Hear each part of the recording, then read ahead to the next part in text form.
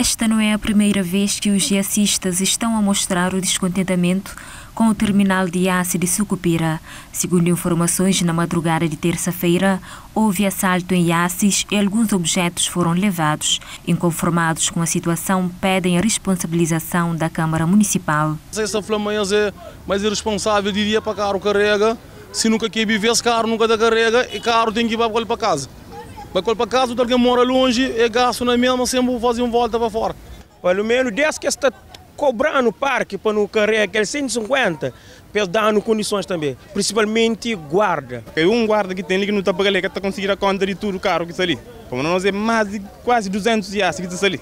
Em resposta, o vereador de Transportes disse que os jacistas têm conhecimento de que é proibido pernoitar iaces no terminal e que por isso a Câmara só responsabiliza quando ocorrem nas horas normais de funcionamento, que vão das 6 até as 19 horas.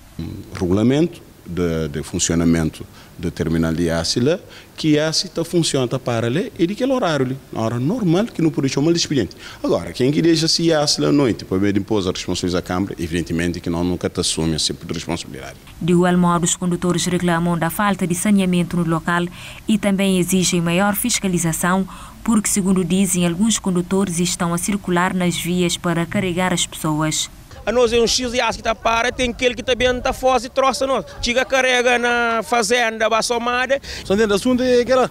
E depois, na parque, eles mandam ali é na meio, meio de lixo, contentor por perto, assim, sem condições que tem casa banha, que tem na área, aquela caça, caça na área bonito. Portanto, não sabe uma saúde pública que é só instituição, muito na nossa mão. Que não bota papel na chão, que não bota garrafa de água, de plástico na chão e várias outras coisas. Portanto, nós não sabemos, mas lá na Escupira, nesse momento, nunca tem condições de criar mais casas de banho do que aquele que está lá. Portanto, pedir compreensão de tudo, para utilizar aquele que não tem nesse momento, não está melhor a coisa. O vereador Manuel Vasconcelos avançou aí ainda que os condutores que não respeitarem o regulamento e encherem IAS fora do terminal, que serão aplicados coimas no valor de 5 mil a 10 mil escudos, entre outras penalizações.